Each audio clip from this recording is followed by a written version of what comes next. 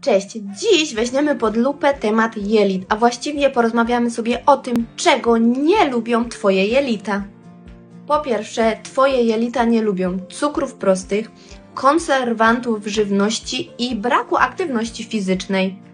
Jelita nie są także zadowolone, kiedy pijesz alkohol, palisz papierosy albo po prostu gdy masz niedobory snu.